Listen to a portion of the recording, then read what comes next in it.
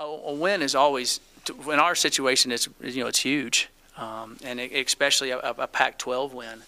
Um, and uh, so I think it's, it's extremely big for the guys. And, you know, anytime you win, you know, you make some mistakes in the game, they don't, you don't look at them as bad and you listen. You know, when you, when you lose, every mistake is magnified.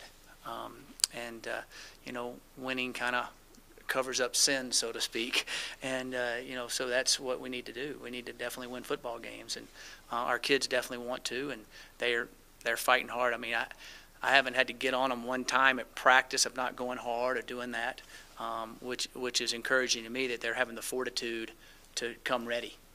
Um, when I have to start beating them with a bat, so to speak, um, uh, to push them to go, um, then that's when you really get nervous.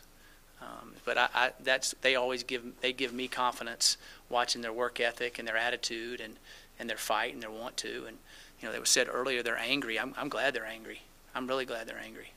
Can you talk about what positives you took out of Oregon, how they might have translated in Arizona State game, and what you've, if- if there are any positives out of that that are continuing? Yeah, um, the you know I think the, the, the positive is we were able to um, you know battle with them. You know, uh, you know we're we are we've come a long way, but we've got a long long way to go. Um, but we're not where we used to be.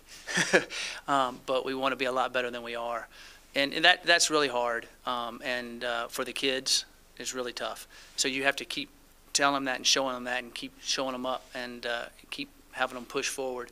And so I think from the Oregon game, they took, hey, you know, we can play, we can play with these guys. Um, there's no doubt.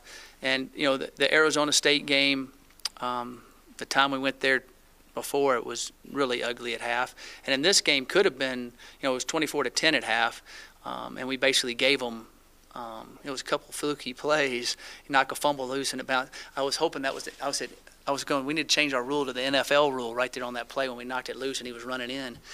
Uh, so, um, but I think their effort, their know-how, and you know, for some reason we kind of busted a couple things that in um, that we hasn't haven't busted in the secondary that hurt us early in that game, um, and that we need to fix.